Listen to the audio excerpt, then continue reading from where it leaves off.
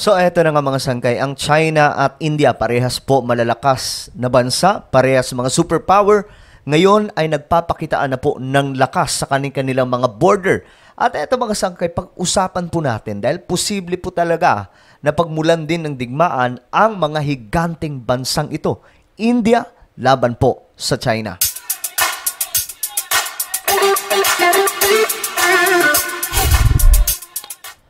So hello, what's up mga sangkay? Magandang oras po sa inyong lahat, sa lahat po ng mga nanonood ngayon, sa lahat po ng ating mga taga-subaybay. At ito mga sangkay, panibagong update po tayo international media dahil ang binabantayan po natin ngayon mga sangkay ay ang pagputok ng ikatlong digmaang pandaigdigan. But we are praying na sana ambahan lamang po ito at hindi po matuloy.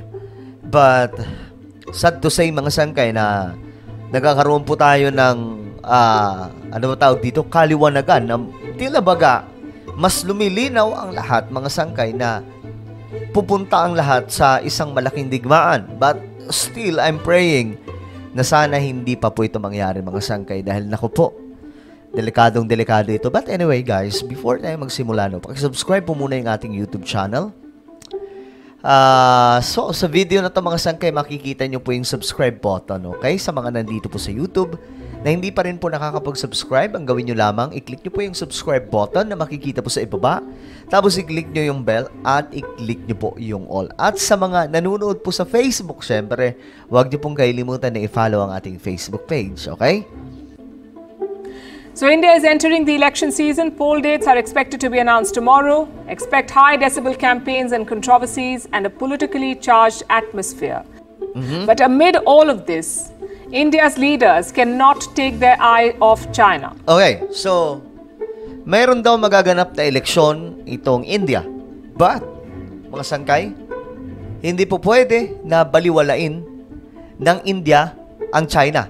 Kailangan yung mga mata nila, mga sangkay, eh, nakafocus pa rin dahil nga po, para sa India, just like in our country, ang China ay isang traidor wala po sa ayos kausap. Ganyan din po ang ginagawa nila sa Pilipinas, mga sangkay actually.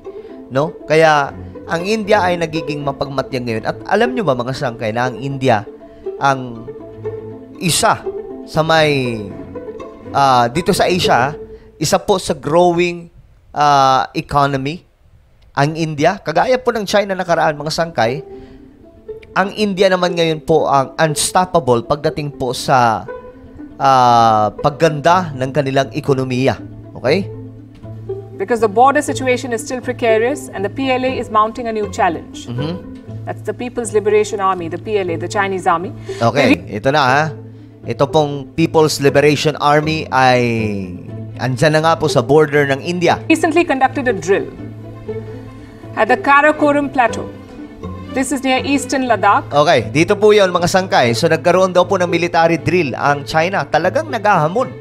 No, talagang nagahamon sa India. It's one of the main flashpoints in the current border standoff. Ayan po, yan po yung kanilang ginawang pagsasanay. China holding drills here does not augur well.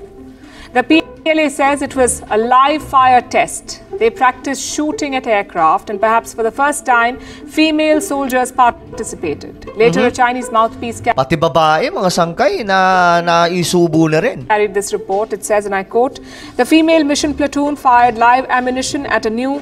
Ito ha, ayan po ha. Uh, the female missile platoon fired uh, live ammunition at a new subsonic target aircraft for the first time. So itong mga kababaihang mga sundalo ng China ay ginagamit na rin po ngayon mga sangkay. Subsonic target aircraft for the first time on the Karakoram Plateau at an altitude of 4,300 meters. The female soldiers found an enemy aircraft due east and launched the missile after a countdown the missile took off and accurately hit the target. Mm-hmm. So, this was a missile test. Reports say China used a surface to air missile system for this drill, and the timing does raise some questions. Why? Grabe, no? Grabe talagang naghahamon ang China sa border pa mismo ito ng India. At nakaraan, mga sangkay, nagpadala rin po ang India ng 10,000 soldiers Okay? Sa border mismo ng China or dun din, dun din po ito yon mga sangkay sa border ng India or China. So talagang sumitindi po ang sigalot ngayon ng dalawang mga superpower na bansa.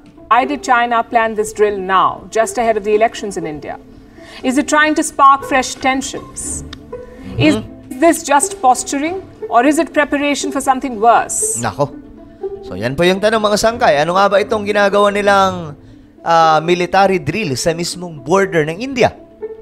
Ito ba ay ah, preparation for a worse scenario, mga sangkay? Kagaya na lamang po ng digmaan against India. Nako mga sangkay, kapag nag-umpisa po ito, ang India at China parehas po mga higanting bansa. Okay? Ang India po ay malakas na bansa. Hindi po magpapadaig when it comes to the numbers of their soldiers at ang kanilang mga pandigma na mga high-tech. And here's something else that I must mention. Earlier this week, India conducted a missile test, the Agni 5, India's Oh, eh, India rin, naggawa po ng missile test. latest nuclear deterrent. It was tested on Monday. The Agni 5 can strike multiple targets at once. Mhm, grabe. On the day of the test, a Chinese ship was near the Indian coastline, carefully watching the test unfold. We told you about this on the show. So, China's test could also be a demonstration in response to India's missile test.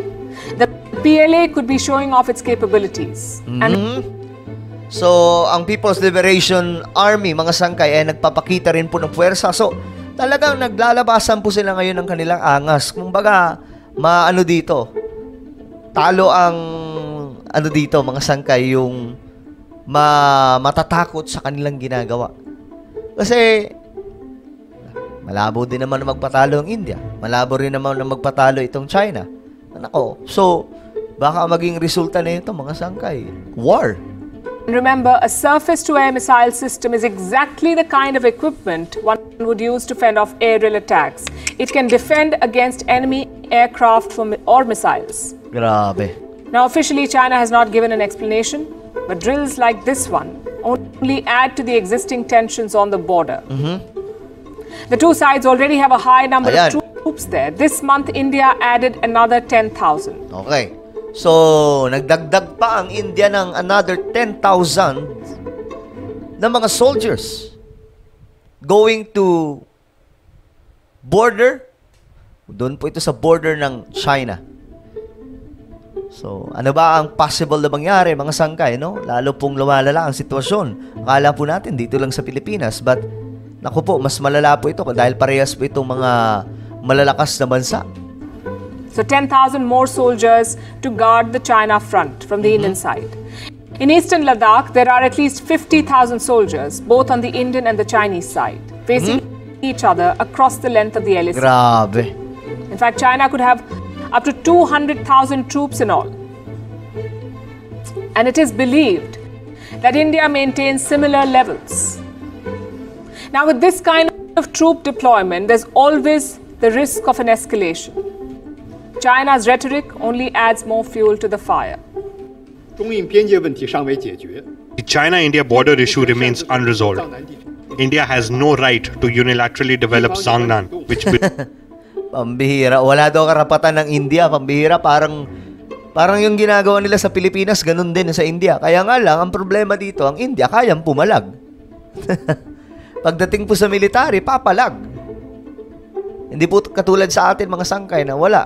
Nakahaya lamang po tayong banat-banatan itong China dyan sa West Philippine Sea. Belongs to China. China strongly opposes and deplores the activities of the Indian leader in the eastern section of the China-India border and has made solemn complaints with India. Sila pa yung nagre-reklamo sa India, pambira. He was talking about Narendra Modi, India's Prime Minister. And what are the Chinese angry about? Mm -hmm. The mm-hmm. Sela Tunnel. It was recently inaugurated by Prime Minister Modi. It connects two Indian states, Assam and Arunachal Pradesh. China has lodged repeated protests over this project. It stakes a claim to Arunachal Pradesh. China calls it South Tibet and says the state belongs to them, Arunachal Pradesh. But these claims have no basis, yet China keeps bringing them up. Okay, so may pinag-aagawan din pala talaga silang ano, no? Lugar. So, Ngayon, lumalala ang ng both side. Halos maraming mga bansa ganito rin po ang situation. And very important na nalalaman po natin ito na just in case magkakaroon ng biglaang pagputok ng digmaan, at least aware po tayo sa nangyayari. Hindi po bago sa atin to. Makakapag-ready po tayo. Okay? So ano po ang inyong opinion mga sangkay sa ano, nagsishow of force na po itong dalawang bansa, India and China. Sa tingin nyo, sino ang mas malakas? Sino ang mananalo? At anong kahihinatnan ng payabangan ng dalawang to? So, i-comment nyo sa ibaba ang inyong mga opinion. Mayroon po akong isang YouTube channel, Sangkay Revelation, okay? Hanapin nyo po ito sa YouTube and click the subscribe, click the bell, and click all, okay? Madali lamang po yan mga sangkay. Ako na po yung magpapaalam. Mag-ingat po ang lahat. God bless everyone.